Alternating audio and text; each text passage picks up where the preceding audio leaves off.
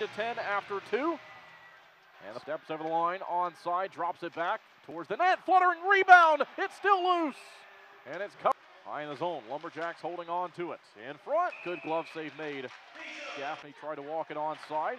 They'll center it, a chance. Great defensive effort by Kester on the penalty kill. How aggressive will they be? They're down by three, and here we go. We get the answer now. Three on two. They cross on side. Mazur in front of the net. Oh, and it just rolled on Dybus.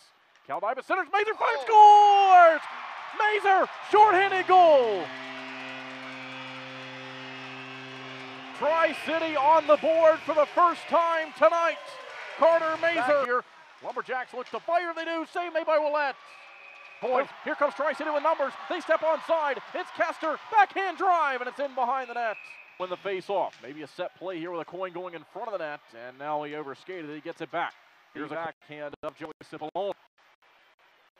Cipollone give and go. A drive on that big rebound. He fired again. It's saved. It's loose. And it's speedy Carter Mazur, right wing. Here he comes. Fires. Oh, and it's saved.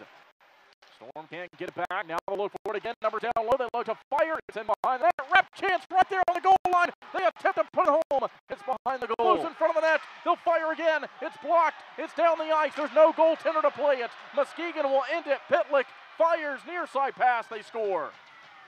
It's 4 to 1, empty net goal with 114 left to go in the third period. And the Muskegon Lumberjack neutral ice. Onside, one last chance from Klapka. Loads up, drag move doesn't work. And Tri City has dropped tonight's game. They fall to four, or they fall by the score of 4 1, and they fall